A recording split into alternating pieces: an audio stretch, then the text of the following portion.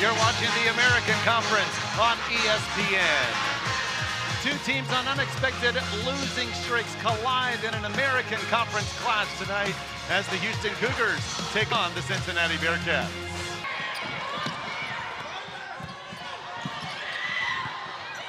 Jillian Hayes in the paint. Cincinnati's up four.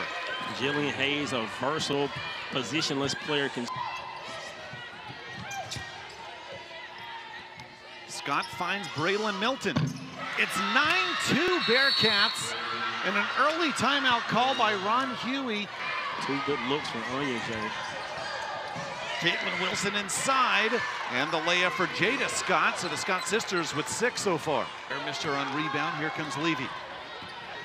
Over five and a half assists a game, second in the conference. Once one here and got it. The three from Mushara, a 10-point Cincinnati lead. Young, eight points a game for Houston coming in. Another three falls, their third. Caitlin Wilson. Hayes scores. That's how it's gone so far for the visitors. Great poise there. Braylon Milton. Jaden Scott, the putback, and Cincinnati up 14. Three seconds. Levy for three. Got it at the buzzer. Levy is cold-blooded.